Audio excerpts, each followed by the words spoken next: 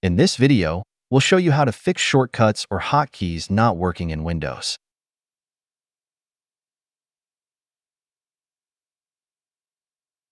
First, right-click on the Windows Start icon and select Device Manager.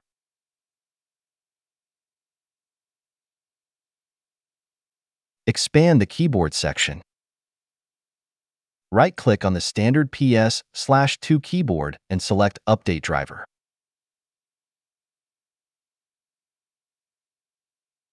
Choose Browse My Computer for drivers.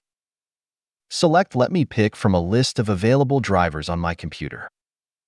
Choose Standard PS slash 2 keyboard from the list. Click No when prompted to restart the computer. We will do it later.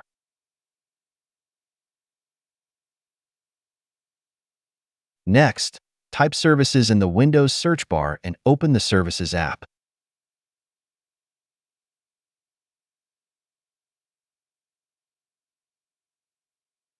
Find the Human Interface Device service. Double-click on it and change the startup type from manual to automatic.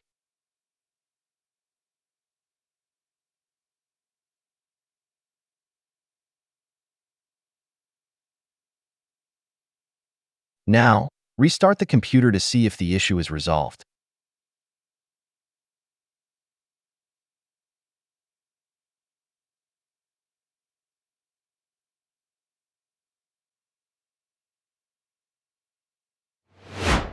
If the first way doesn't work, you can try to enable the underlying access keys in the Windows settings.